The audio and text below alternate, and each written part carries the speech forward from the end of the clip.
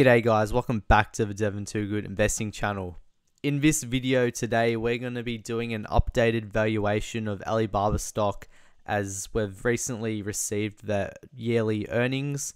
So now we have a better idea on how to project moving forward. So for this valuation, we're going to be using a discounted free cash flow model and we're going to be growing out the free cash flow over the next five years. So for this valuation, there are a few different things we need. First thing we need is expected growth rates. And for this valuation, I think Alibaba should grow somewhere between 10 and 14%. So I've got five different models and I've pretty much listed out, you know, 10%, 11%, 12%, 13%, and 14% growth. And if we come over to the estimates, we can see that you know, Alibaba in the past has grown, you know, 30% a year, even higher than that at times. And recently their growth has slowed down and analysts are expecting about 11% growth moving forward. And in terms of free cash flow, they are expecting pretty choppy numbers here. Uh, they did produce $29.8 billion in free cash flow last year, and it has fallen 48.6% to 14.6 billion.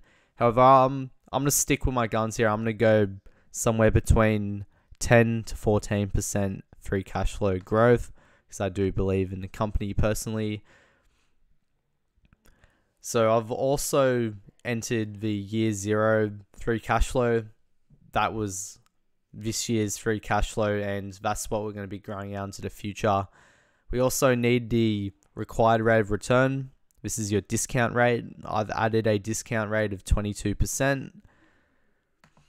And the reason why I've added 22% is that gives me a margin of safety. So my target rate of return is 15, but if I aim for 22, over the course of 10 years, a 22% return is an 8x on your money. And then a 15% return is a 4x on your money over 10 years. So hence it gives you a 50% margin of safety. I've added in the shares outstanding here. You can find this on Alibaba's income statement under diluted shares outstanding. I've also had to add a terminal multiple. For this valuation, I've chosen 15. Uh, it's fairly conservative, in my opinion, for, for a business of this quality, and historically has traded at a lot higher. It's traded, you know, in the 30s for quite a lot of its uh, time since it's IPO'd and 15 is fairly conservative. However, you should be fairly conservative, and there's a good chance that the market moving forward will be, you know, that they'll use a lower terminal multiple just because of the, you know, Chinese risk. Net cash. So this is the cash and equivalents on the assets part of the balance sheet minus the long-term debt on the liabilities part of the balance sheet, and we get 49.5 billion. And then finally, Alibaba own a one third stake in Ant Group.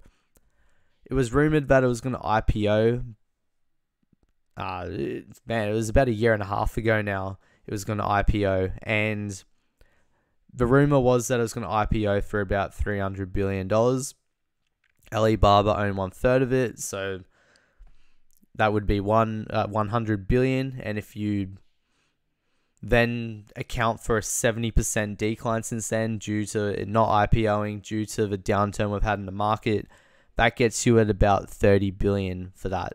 So now if we look at the result of all these factors, you can see if you believe Alibaba is going to grow 10% and you are after a 22% return, you can look to buy it at around $90.23 However, if you're more bullish, you think it's going to grow 14%, you could look to buy it for a 22% return at $100.24. As of right now, Alibaba is trading at $99.01.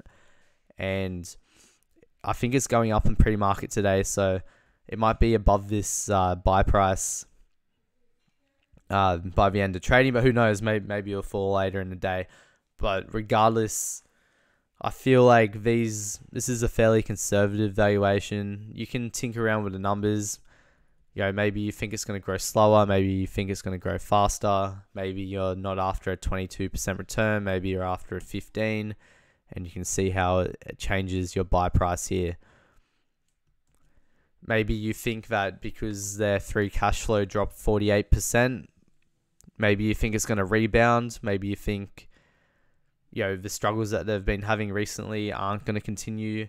Perhaps you could uh, increase next year's free cash flow or, you know, increase the growth since it's coming from a very low base. However, I, I'm going to be conservative for this valuation and leave it how it is.